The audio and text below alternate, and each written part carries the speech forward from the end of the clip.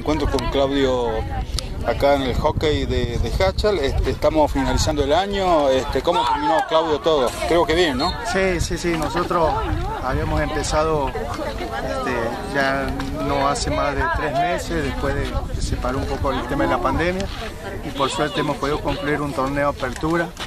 eh, corto y rápido, junto con ahora con el clausura que se termina hoy también, con fechas que se han jugado maratónicamente, pero hemos logrado hoy estar jugando ya la final de categoría Mami y categoría Primera División.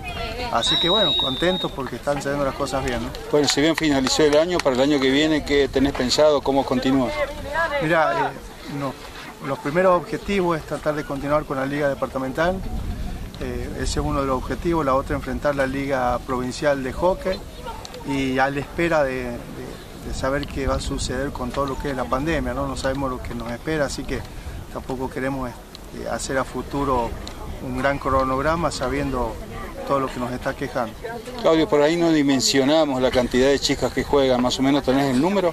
Sí, nosotros en lista de buena fe tenemos aproximadamente 400 jugadoras, ¿sí?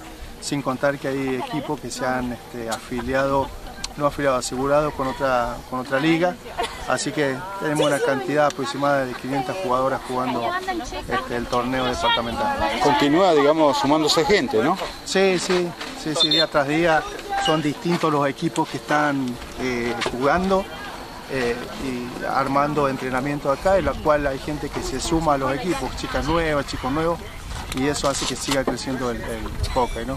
Claudio Vargas para Actualidad Hachallera, gracias. Bueno, muchísimas gracias a ustedes por visitarnos, gracias por estar siempre presentes, que tengan unas buenas fiestas y un inicio de año espectacular.